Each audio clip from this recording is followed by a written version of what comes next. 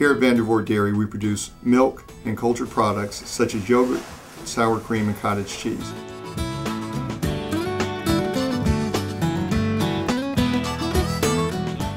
Vandervoort produces their own gallon and half gallon milk bottles on site.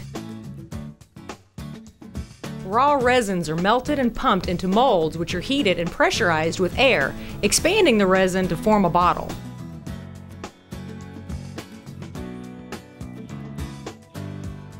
The excess is trimmed off, reground, and melted again so there's very little waste. Bottles are quality checked to ensure no leaks occur down the line.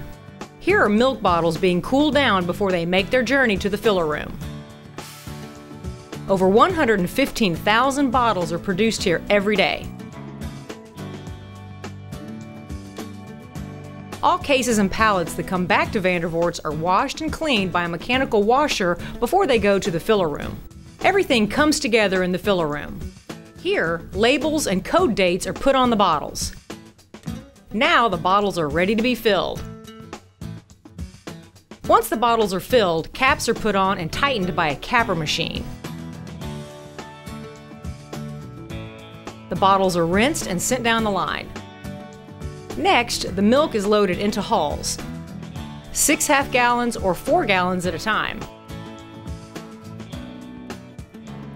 Hulls are mechanically stacked six high before being sent to the big ice box. The milk cooler at Vandervoort is 17,000 square feet, the size of a hockey field.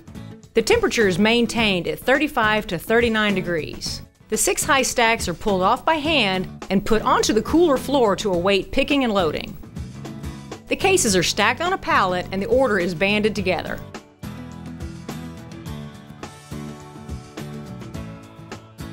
Forklifts take the finished orders and load them onto delivery trailers. From the cow to the cooler, that's how we get milk to our customers.